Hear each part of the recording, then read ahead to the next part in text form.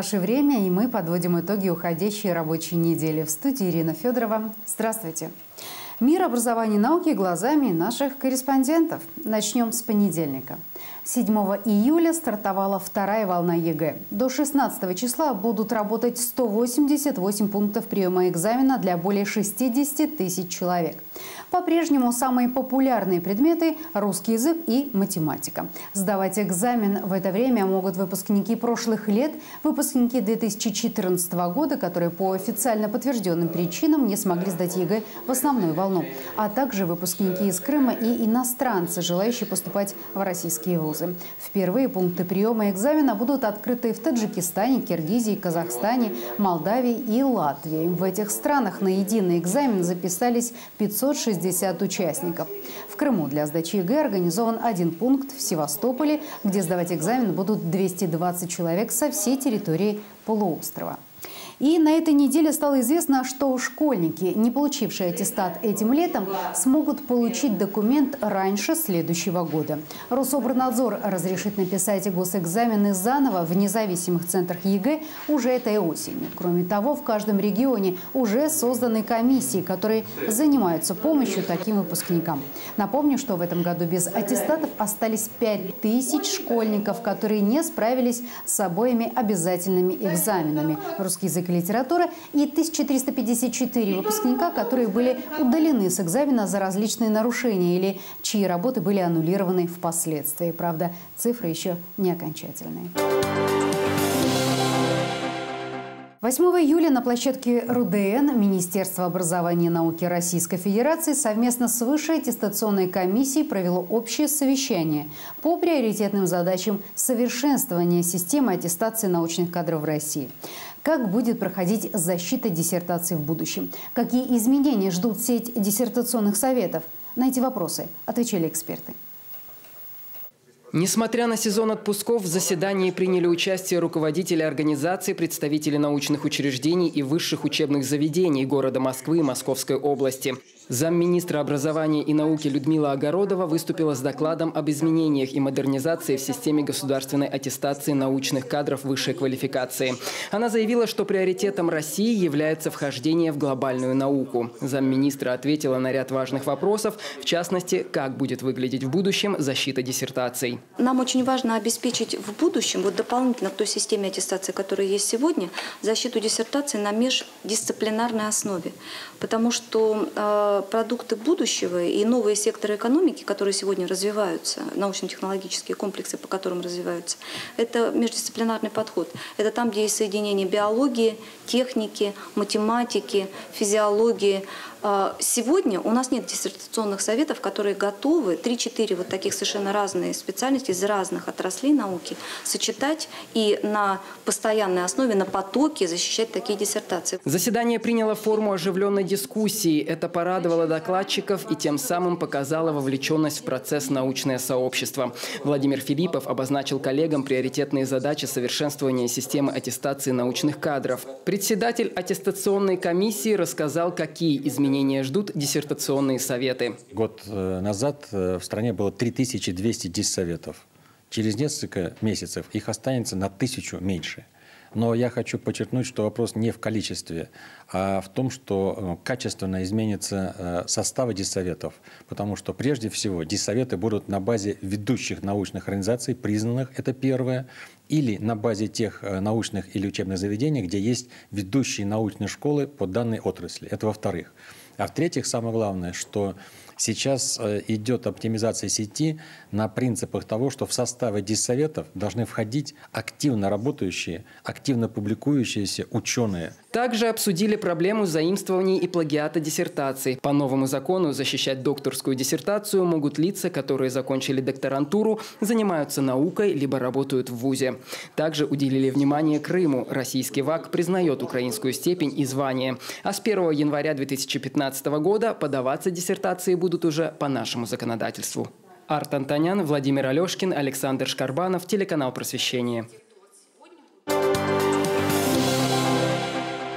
Более полутора тысячи мест в 13 федеральных университетах России со всеми условиями для размещения и проживания поступающего. Такая квота выделена Минобрнауки для соотечественников, вынужденно покинувших территорию Украины и ищущих убежище в России.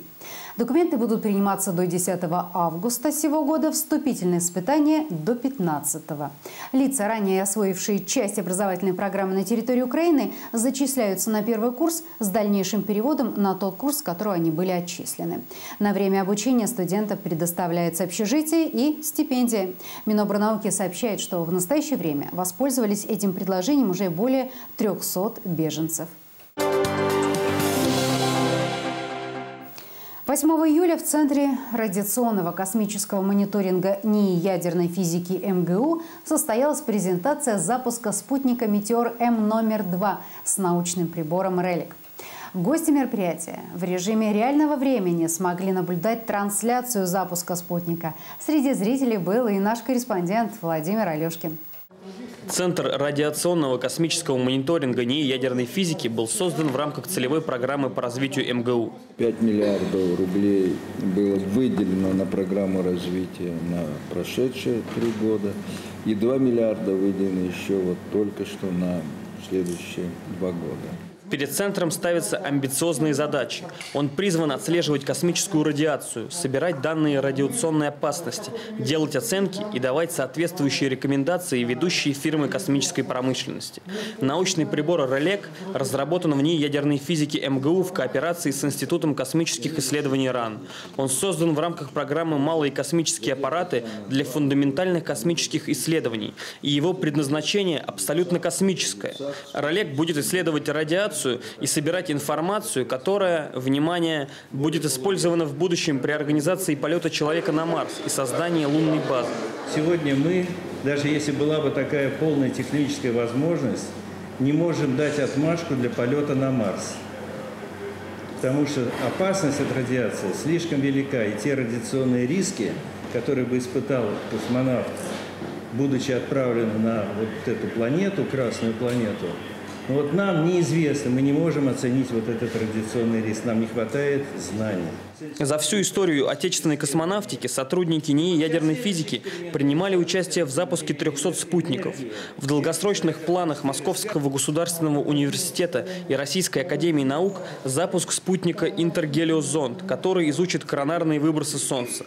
А совсем скоро научно-исследовательский институт запустит на орбиту большой космический спутник Ломоносов. Знаменательно, что запуск пройдет на космодроме Восточный, который будет первым для стартовой площадки. Владимир Алешкин, Александр Шкарбанов, телеканал «Просвещение». Тема единого госэкзамена актуальна не первую неделю. Мы снова возвращаемся к ней. Единый экзамен служит одновременно выпускным в школе и вступительным в ВУЗе. С 2014 года выпускникам не выдают бумажные свидетельства с результатами ЕГЭ. Итоги экзамена заносятся в специальную электронную базу данных. Абитуриенту достаточно предъявить в приемной комиссии вуза паспорт, и члены комиссии проверят его результаты ЕГЭ в этой базе. Но следующая статистика вызывает недоумение и вопросы. Ее озвучил глава Рособрнадзора Сергей Кравцов. К сожалению, на сегодняшний день к электронной базе данных не подключены 69 вузов. Это тревожная ситуация. Нам непонятно, как они будут проверять у абитуриентов результаты ЕГЭ. Надеюсь, что в течение недели все вузы будут подключены к единой базе данных, сказал Кравцов в интервью российской газете. При этом у семи вузов выявлены занижения по минимальной границе ЕГЭ, с которой они принимают документы у выпускников. Цитата. «Мы проанализировали сайт и увидели, что у семи вузов есть занижение по минимальной границе. Причем и у государственных, и у негосударственных вузов. Например, у Тихоокеанского государственного университета минимальный балл по математике 20, у Санкт-Петербургского института внешнеэкономических связей, экономики и права по математике 20, а по русскому языку 24 балла. Мы сейчас проведем соответствующую работу, и баллы будут скорректированы, сказал глава Рособорнадзора Сергей Кравцов. А следующие горячие новости с площадки приемной кампании университета МИСИС. Кстати, именно здесь работает уникальная для России стипендиальная программа и есть специальные условия для наиболее талантливых абитуриентов из Москвы и регионов. Здесь впервые идет учет индивидуального проектного портфолио абитуриента. А инфоповодом для нашего спецрепортажа послужило объединение Национального исследовательского технологического университета МИСИС и Горного университета. Подробности в сюжете нашего корреспондента Анастасии Флаг. 11 тысяч заявлений на поступление в прошлом году, против 20 в нынешнем. Но приемная комиссия НИТУ МИСИС такому интересу со стороны абитуриентов только рада.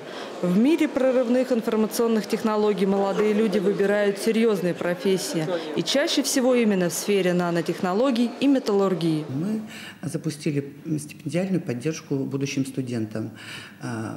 А, то есть абитуриенты, э, которые имеют э, в сумме 240-250 баллов ЕГЭ по трем предметам, э, будут получать дополнительную стипендию в размере 5 тысяч или 10 тысяч, соответственно, от количества баллов будет зависеть. У нас одну базовую стипендию не получают. Если э, студент успешен, он получает несколько базовых э, стипендий. Абитуриенты из Крыма пользуются особыми льготами. Они могут поступить как по результатам ЕГЭ, так и пройдя вступительные экзамены по профильному предмету математика. Для них выделяются отдельные бюджетные места. Мне больше нравится изучать математику, информатику. К тому же сдавала ЕГЭ по этим же предметам. И надеюсь, в будущем я свяжу также свою работу с этими специальностями. Я очень надеюсь, что учась здесь, я получу необходимые знания и буду их применять в будущем в своей работе. После сложного отборочного конкурса с учениками начинают работать российские преподаватели и нередко специалисты международного уровня. Лаборатории университета оснащены высокотехнологичным оборудованием для проведения уникальных опытов. Работать здесь могут и специалисты, и первокурсники, и не только. Эта установка называется искровое плазменное спекание. Только что проходил эксперимент, и мы получили беспористую наноструктурированную керамику. Ее можно использовать как в химических разработках, так при изготовлении а, бронежилетов и даже в космической промышленности.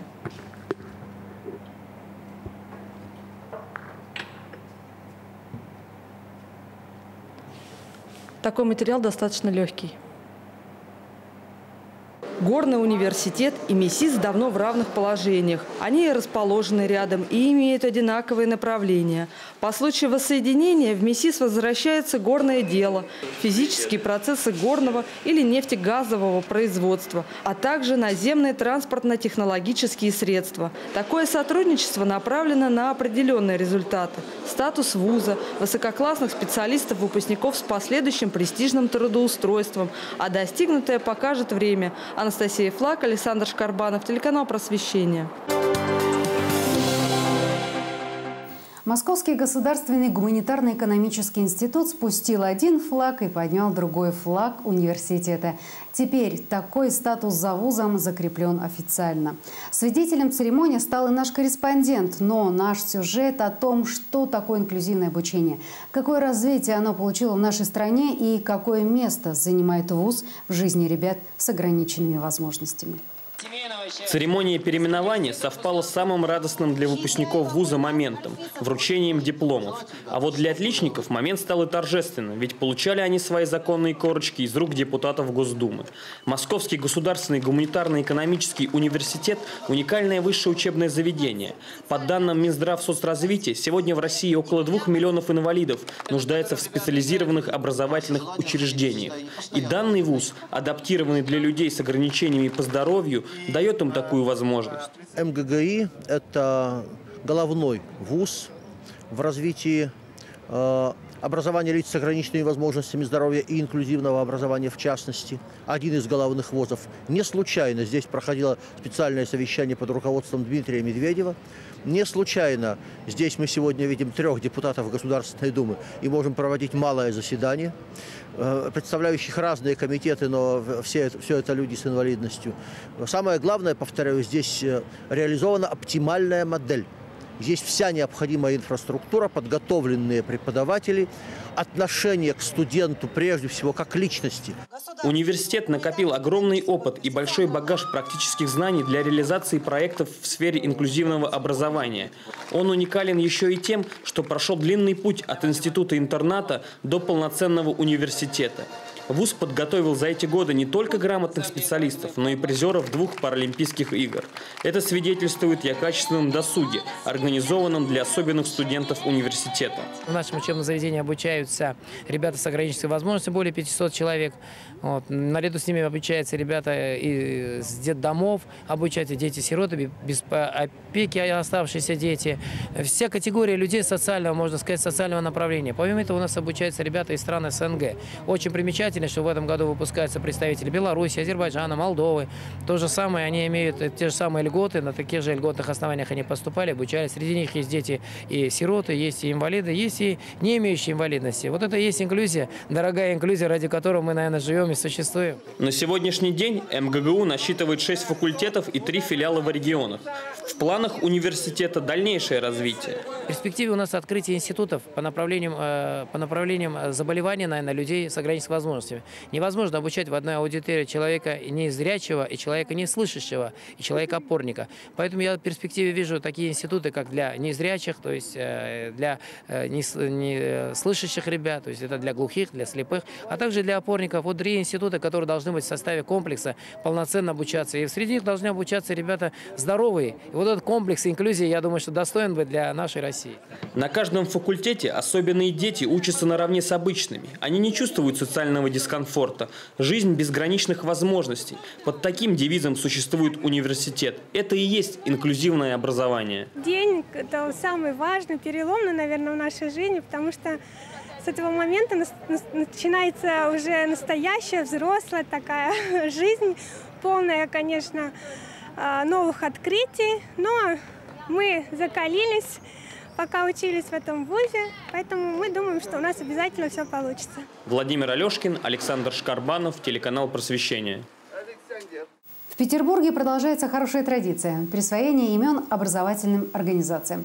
Так, на заседании топонимической комиссии под председательством вице-губернатора Санкт-Петербурга Василия Кичеджи решено школе номер 440 присвоить имя Героя Советского Союза, капитана первого ранга Павла Державина.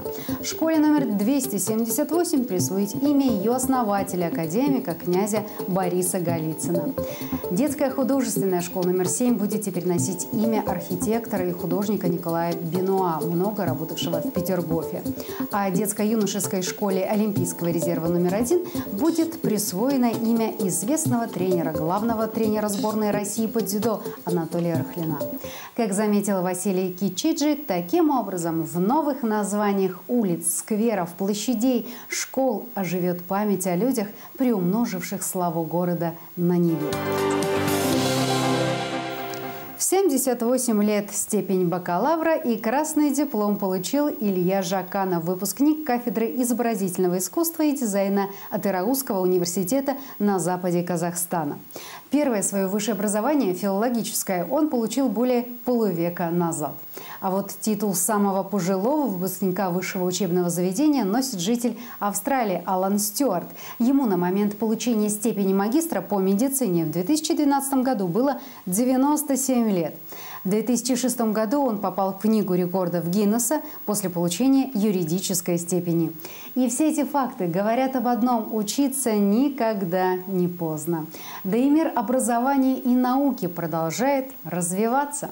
А мы в предстоящую неделю будем рассказывать о событиях Всероссийского молодежного форума «Селигер-2014». Телеканал «Просвещение» является информационным партнером, и мы отправляемся на неделю на берега знаменитого озера в стан творчества, свежих идей и проектов. Ежедневно в 12, 16, 20, 55 и в полночь мы готовим отчет дня. Наше время – Селигер, не пропустите. Я же с вами прощаюсь до нового сезона и, как обычно говорю, берегите себя.